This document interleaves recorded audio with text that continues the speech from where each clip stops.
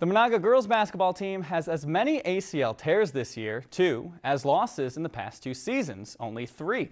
They've battled through adversity and it's gotten them a date with perennial powerhouse Goodhue with a trip to the championship game on the line tonight. Goodhue winners of two of the past three state titles, but the Braves took it to them early.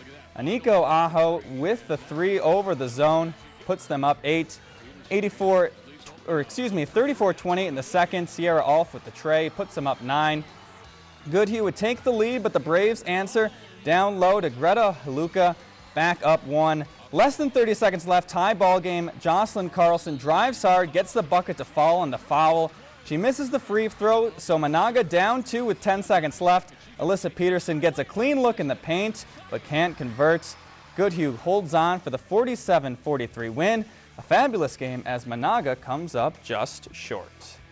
If you enjoyed this segment of Lakeland News, please consider making a tax-deductible contribution to Lakeland PBS.